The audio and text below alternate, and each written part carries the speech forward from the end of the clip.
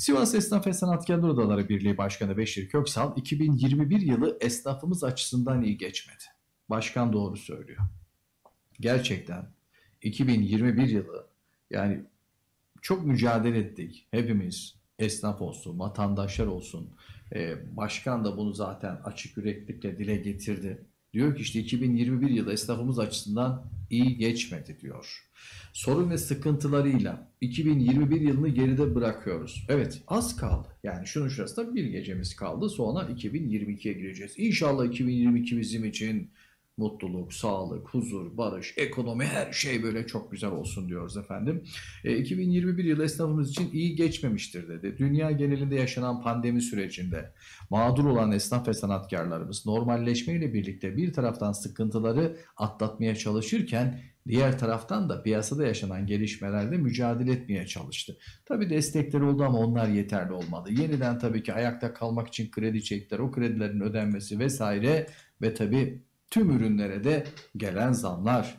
Zamlar geldi. E, üretim yapan, işte bir ürünü alırken pahalı aldığı için satışlar artık azaldı ve tüm ürünlerde de zamlar diyor geri çekilmeli dedi aynı zamanda. Ve esnafa destekler konusunda e, hükümet buna devam etmeli dedi. Esnaf 2022 yılından ise umutlu dedi. Evet her sene öyle geçiyor gerçi yani diyoruz 2021 Sayın Başkan işte bakın söyledi. İyi geçmedi diyor evet 2022'den umutluyuz hepimiz. İnşallah iyi geçer diyoruz. Bakalım Sayın Köksal neler söyledi. Sorun ve sıkıntılarla 2021 yılını geçirdik.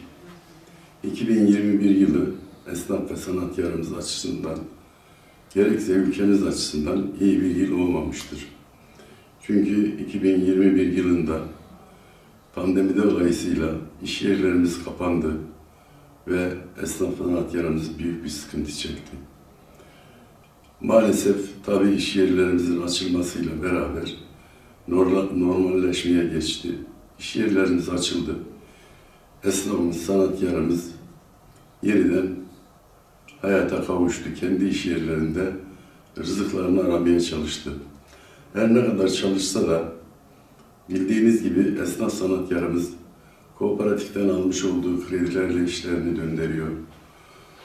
Fakat bu kooperatif kredilerinde günü geliyor, ödemek mecburiyetinde kalıyor. Her ne kadar devlet tarafından iki defa ertelendiyse de yine de sıkıntı içerisindeler.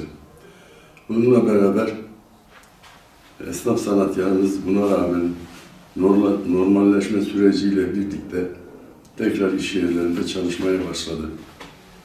Ayrıca piyasada yaşanan kur, kur artışı nedeniyle tekrar esnaf sanatkarımız ve halkımız sıkıntıya düştü. Her ne kadar bu kurdan dolayı e, bir pahalılık ister istemez fiyatların artırma oldu fiyatlarda. Onun için hem halkımız hem esnafımız sıkıntıya düştü. Tabi bu kurda bahane ederek bazı gıda maddelerinde büyük farklar meydana geldi. Bunda esnafımızın, sanatkarımızın bir sorunu yok. Çünkü insanımız aldığı malı pahalı aldı, rafına dizdi. Yenisini almak için muhakkak e, tekrar e, pahalı almak mecburiyetinde kalıyor. Yani bu pahalılaştırma her ne kadar esnaf yapıyor bunu deniliyorsa da pek inandırıcı değil. Esnaf sanatkar stok edecek bir halde değil ki sermayesi yok, sermayesi bitmiş zaten. Onun için biz diyoruz ki devletten esnaf sanatkarımıza yeniden bir e, can suyu kredisi 50 bin liraya kadar en azından faizsiz kredi, bir yıl ödemesiz, üç yıl ödemek şartıyla zaten bunu da ilgili makamlara iletmiştik.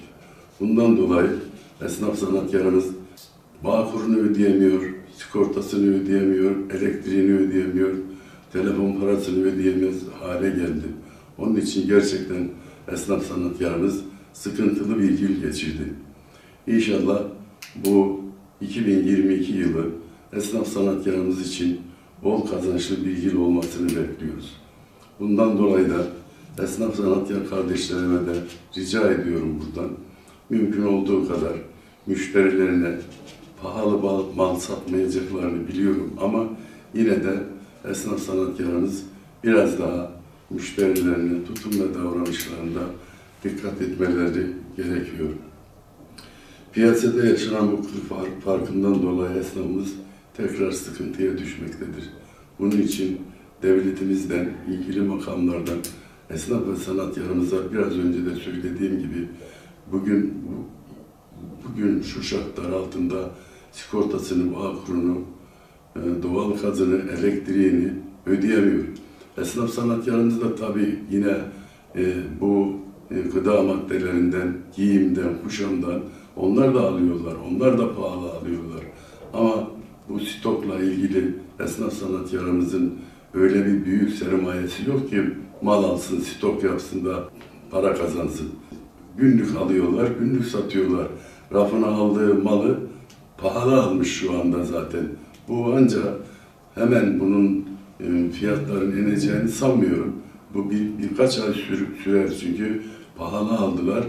Dükkanın rafına dizdi. Mecbur oradan para kazanacak ki çoluğunun çocuğunun rızkını kazansın.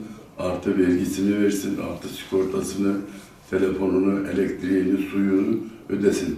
Burada biz devletimizden şunu da bekliyoruz yani en azından bu pandemi e, olayında elektriğe, e, doğal gaza gelen zamlardan e, devletimizin buna imkanları var. E, gerek doğal gazı, gerek elektriği, gerek yakıtta bir indirim sağlamalarını bekliyoruz. Bu nedenle 2022 yılının esnaf sanatkarımıza, ülkemize hayırlı ve uğurlu olmasını diliyorum. İnşallah bundan böyle iş yerlerimiz bir daha kapanmaz.